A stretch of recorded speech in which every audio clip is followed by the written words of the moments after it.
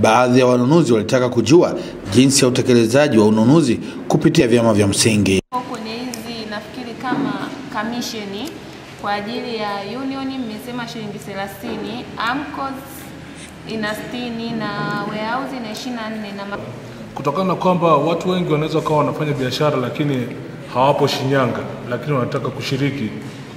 Nilikuwa na ushauri kwamba ingetumika mfumo wa email kama inavyofanyika kwenye korosho. Nyinyi ni wadau ambao mnanunua hizi demo, kwa hiyo kwa upande wa NMB pamoja na kudili na hiyo stakabadhi, lakini nyinyi kama wadau pia tunaweza tukawakopesha.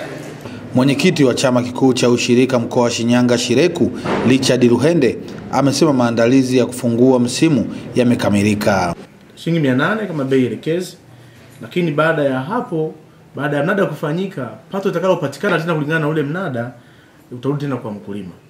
Kwa hiyo unaweza kuona kama umepewa advance ya kwanza ambayo ilikuwa ikitumika miaka yote ya nyuma shilingi mia nane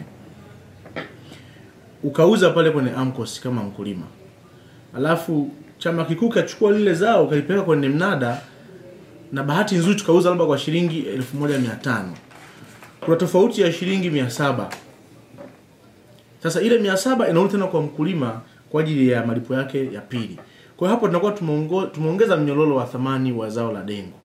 Shabani Alei, Star TV, Shinyanga.